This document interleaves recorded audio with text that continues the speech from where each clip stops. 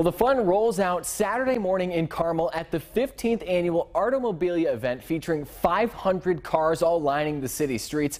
What started with 50 cars in 2008 has grown exponentially as event organizers expect close to 25,000 people to attend. Come out, you're going to see a lot of cars, talk to the owners. These guys love to talk about their cars, obviously and enjoy the Arts and Design District. The community event is free to the public, but plan on either eating ahead or at local restaurants nearby, as neither food trucks nor vendors will be on site.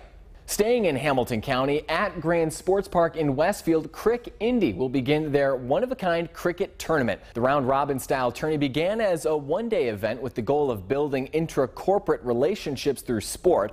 The networking event has really taken off and is a great example of community the networking event is very important for us uh, uh, to my heart.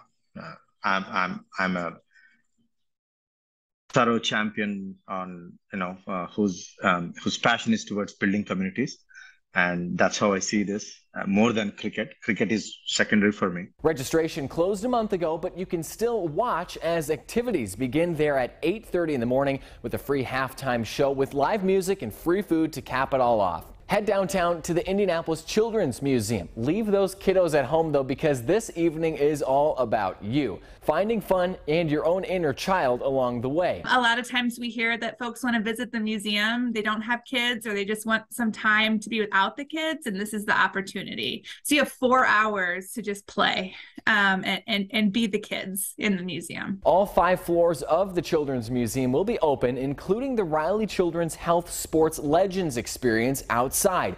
There will be plenty of food, drinks, and Sun King beer on site. The event runs from 8 o'clock to midnight, and organizers say it typically sells out, though some tickets are still available. We've got all the details for every event we've covered on our website right now, CBS4Indy.com. I'm Justin Kolar. Have a happy, safe, and fun weekend. Be sure to make it a great one.